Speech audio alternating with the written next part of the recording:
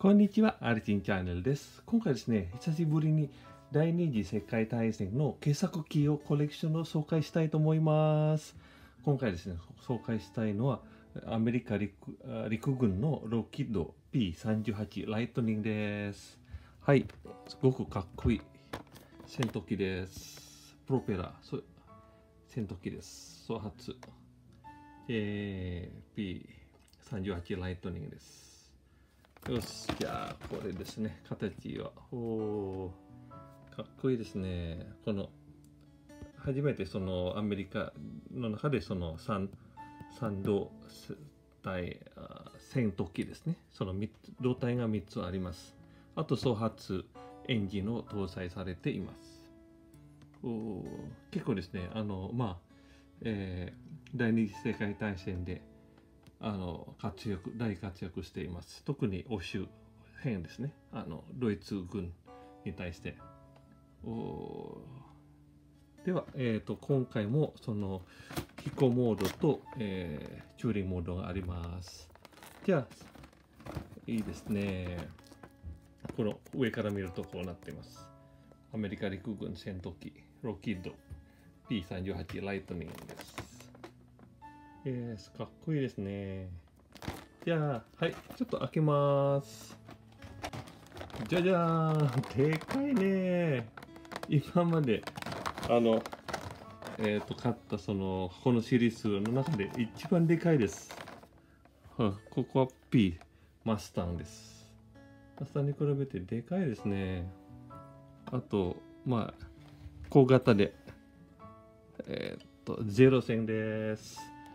セール線に比べて全然あれですね。あの大きさが。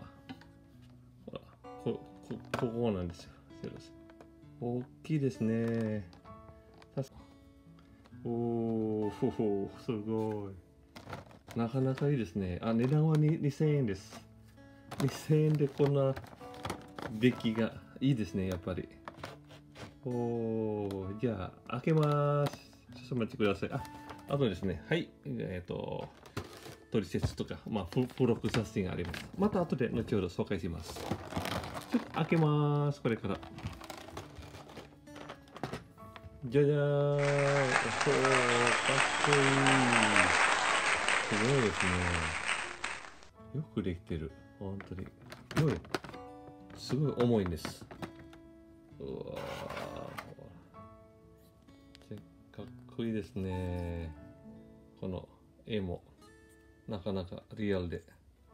これ後で組み立てますね。その飛行モードか、まあ、タイヤ、あの、ギアをつけるか、初期モードか。おー、かっこいい。これ探査の、えー、戦闘機です。パイロット一人です。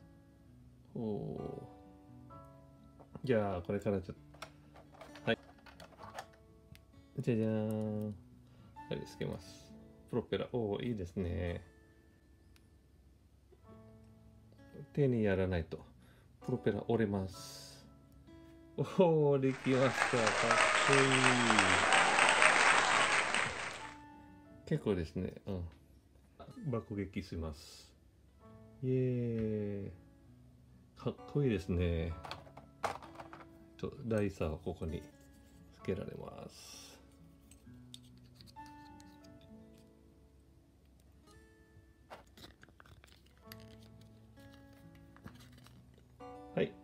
おー。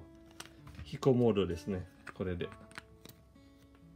イエーイ。かっこいい。本当に。やったー。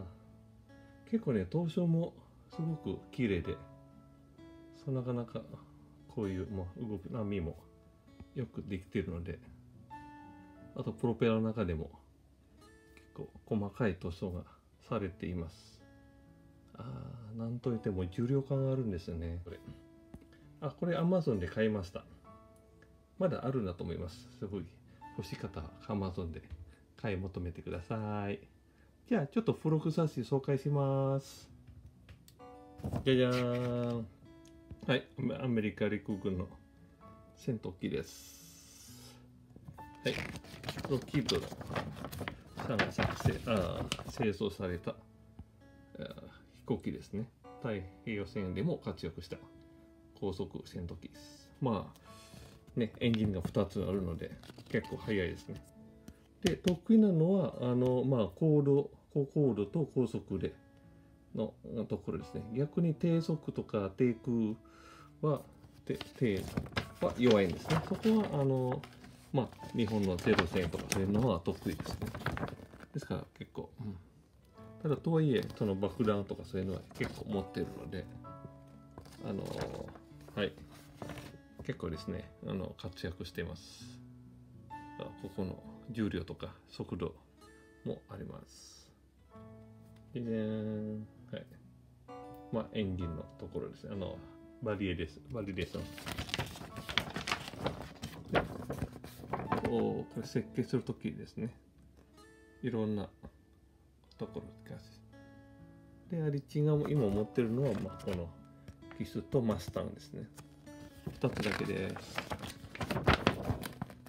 これと、あ、これですね、有名なところで山本長官機が爆撃された日本の。はい、と、あと、そうですね、こっちも太平洋と。で、これまた違う、あの、ラバールをこう線結構大活躍してます。おかっこいいメカニズムです。かっこいいですね。本当に。さあ、エンジンのところですね。お面白い。アリシア持ってるのはこれですね。B、マスターと、今回。えー、お、バリデーションのいろんなアメリカ陸軍とか。で、戦後にフランスなどの国で頑張ってます。あ、これ敵ですね。やっぱり、そうですね。ゼロ戦とか、中島に、これドイツ軍のスピットファイヤー、イギリス、末期イタリアですね。うん、はい、あとは、パイロットたち、有名なパイロットたちですね。